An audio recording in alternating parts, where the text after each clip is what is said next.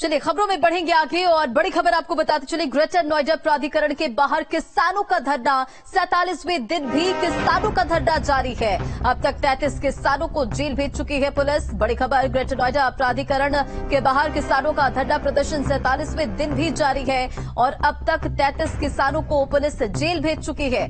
अपनी मांगों को बनाने के लिए अड़े हैं किसान और पुलिस की कार्रवाई से भी किसानों में नाराज़गी देखने को मिल रही है। तो ये तस्वीरें देखिए ग्रेटर नोएडा से खबर आपको बता रहे हैं। ग्रेटर नोएडा प्राधिकरण के बाहर किसानों का धरना प्रदर्शन जारी है। सैतालीस दिन हो चुके हैं और किसान जो है धरना प्रदर्शन लगातार कर रहे हैं। अपनी मांगों को लेकर किसान अड़े हैं और प्रदर्शन कर रहे हैं। अब तक तैंतीस किसानों को जेल भेज चुकी है पुलिस।